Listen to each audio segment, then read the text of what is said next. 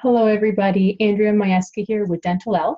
So I just thought that I would check in to make sure that everybody's doing okay because it's been a couple weeks now since we had started the course.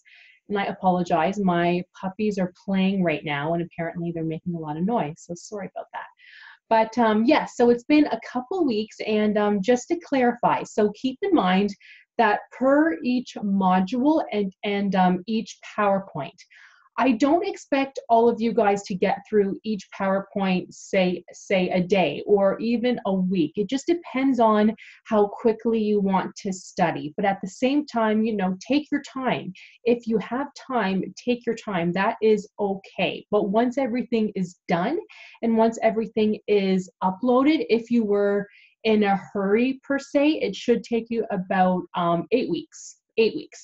It can take you less time, it can take you more time. It just depends on how many hours per day you want to study each module and then each topic in, um, inside that too.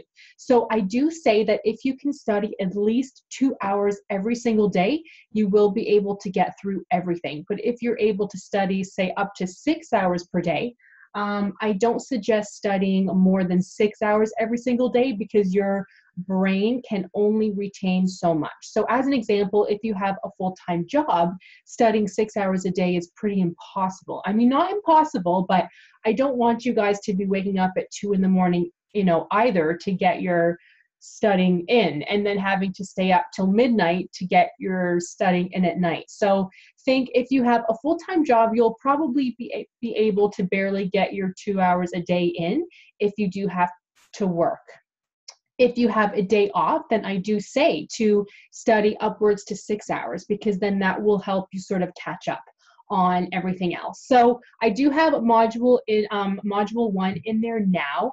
As I said, I do say that this will take you approximately two weeks to study for module one. It could take you more, it could take you less. That is okay. But look through all of the topics first and then take the mock exam afterwards. Now, some people like to take the mock exams at the very end, and that is you know totally um, up to you but some also like to take um, a mock exam after each module based on those topics so that is totally up to you so i have a module one down there with the mock exam Module two is now in there, and then the mock exam is coming by tomorrow. So keep on checking back. Um, and then module three, you will have that all in there by November the 7th. So I don't like to upload everything right away because then I find students you know they get overwhelmed easier and they're like whoa like there's just too much to study here like where do i start first so if you're coming into the course when everything's in there, that is still okay. But I do highly suggest looking through module one, taking your time. So topic per topic, module two, you know, and then module three after that. So good luck. If you need any help, please let me know, and I will talk to you all very, very soon.